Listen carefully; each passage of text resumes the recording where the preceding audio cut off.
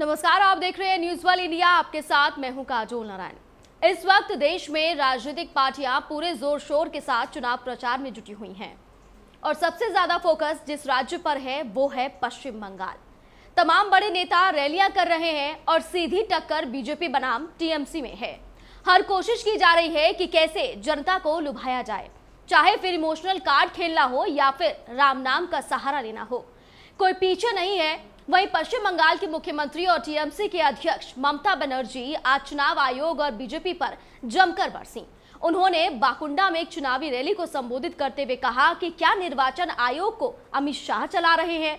वो निर्वाचन आयोग को निर्देश दे रहे हैं। उन्होंने आगे कहा कि क्या बीजेपी मेरी हत्या करवाने की साजिश रच रही है? निर्वाचन आयोग ने मेरे निदेशक सुरक्षा तक को हटा दिया ममता ने आगे कहा कि क्या केंद्रीय गृह मंत्री देश चलाएँगे या बंगाल में हमारा उत्पीड़न करने के लिए साजिश रचेंगे?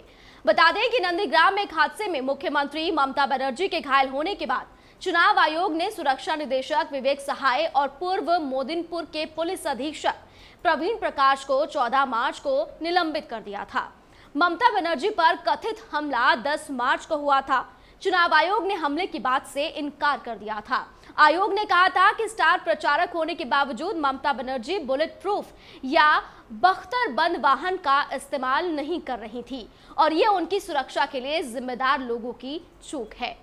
और इसी के साथ फ़िलहाल खबरों में इतना ही। आप देखते रहिए न्यूज़ वाल इंडिया।